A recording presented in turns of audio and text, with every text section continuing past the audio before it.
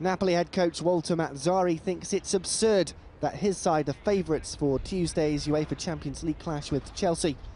Napoli go into the first leg of the last 16 time the back of consecutive Serie A victories, while Chelsea have failed to win in their last four in all competitions.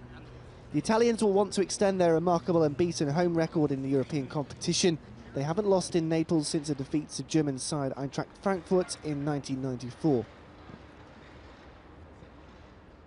Siamo contenti di essere arrivati a questo punto e giocarci una partita, anzi due partite di sicuro di questo livello. We're happy to have reached this point of the tournament and now we have the chance to play a top-level first and second leg against a team that, if I'm not mistaken, has already played 100 matches in the UEFA Champions League.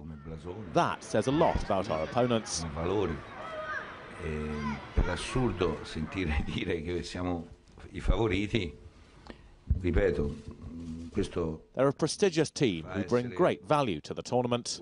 It seems absurd to me to hear that we're favourites to win the match, and this definitely makes us very proud.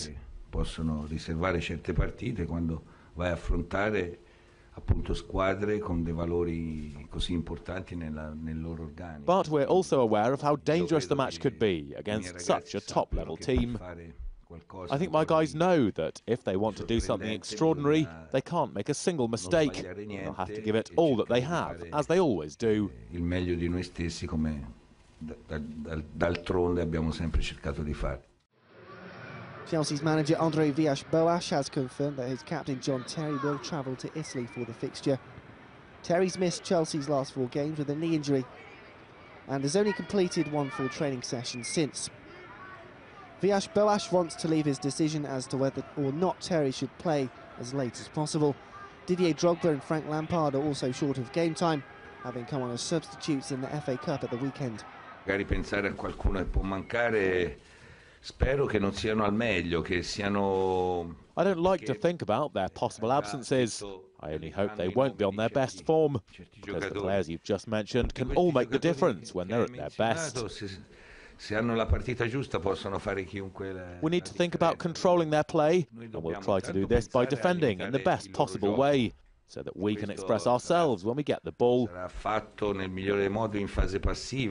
I don't change my idea of football from one match to another. Since my arrival here, I've tried to give Napoli this mentality, and will continue with the same mentality, no matter who the opponent is. E la portiamo avanti al di là di chi sia l'avversario di turno. Tuesday's other fixtures sees Real Madrid make the trip to Russia to take on CSKA Moscow. Real had a record-breaking run in the group stage, winning all six of their games with a goal difference of plus 17.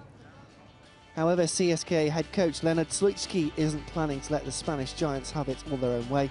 He's expressed his desire for his team to knock Real and Barca out of the Champions League. The last of the first leg fixtures take place on Wednesday, Bayern Munich will be looking to succeed where Manchester United failed against Switzerland's FC Basel, whilst Inter will be looking for a first win in seven games as they travel to Marseille's Stade Velodrome.